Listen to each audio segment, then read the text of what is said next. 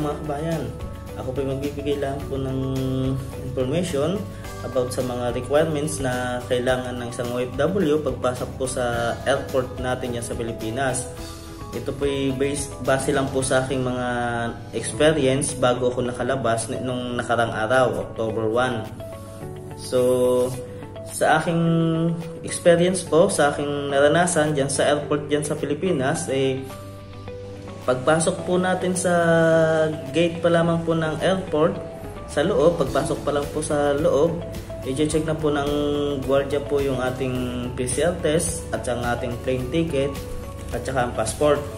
Titingnan po nila kung naka-negative uh, result po tayo sa PCR test. After po niyan, diretso na po tayo sa ating counter.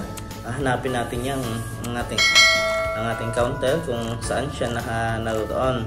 Pagdating po doon sa counter na yon, mga kabayan, ay sa pila pa lamang po, mayroong mga mag-a-assist sa inyo ng mga empleyado po ng Qatar Airways o panong airlines po po may naroon.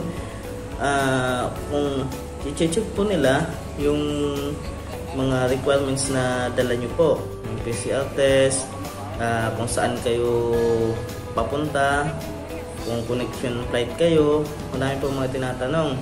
Tapos pagdating po ninyo sa counter mismo, ang tinitingnan po nila diyan yung mga balik po mula sa Pilipinas papuntang Qatar ulit ng mga balik manggagawa ay ang unang tinitingnan nila ay ang yung hotel booking tapos sunod ang iyong iteras kung ito ay vaccinated ka o uh, at saka yung iyong uh, certificate ng iyong vaccine So, yun ang hahanapin sa iyo. After nun, yung UEC mo, tapos yung iyong passport, Qatar ID, yan, i-check nila yan.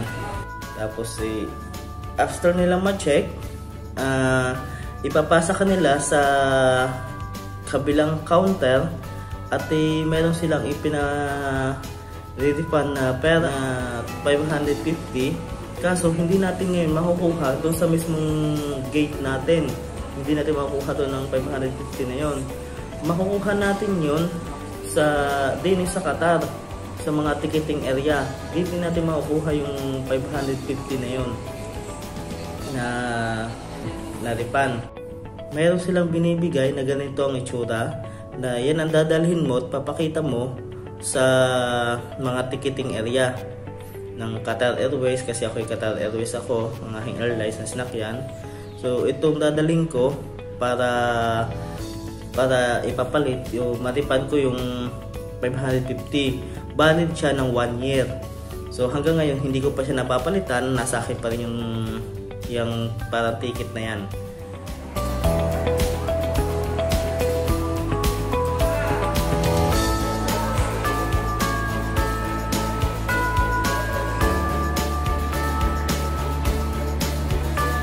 yun ho ang ating ano, gate 107 sa dulo ho tayo.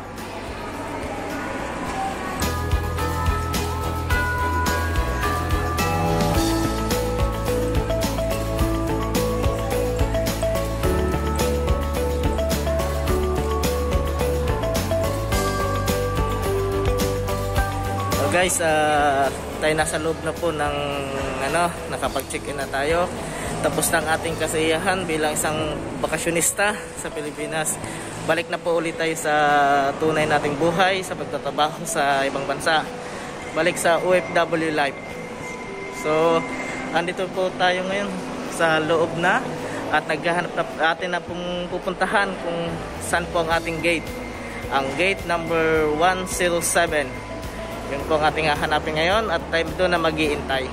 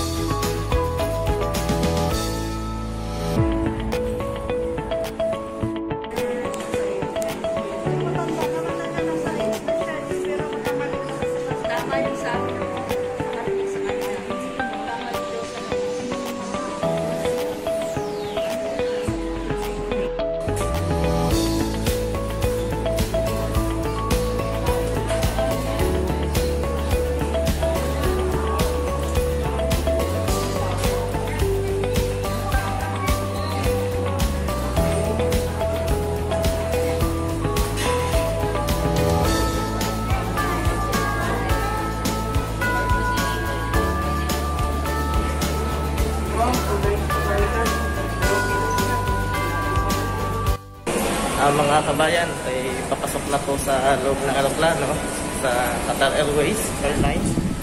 Ay pauwi na tayo sa ating tunay na mundo uli. Balik uli tayo sa trabaho, bahay, trabaho, bahay. Isang taon na uli bago tayo makapagpahinga ng isang buwan.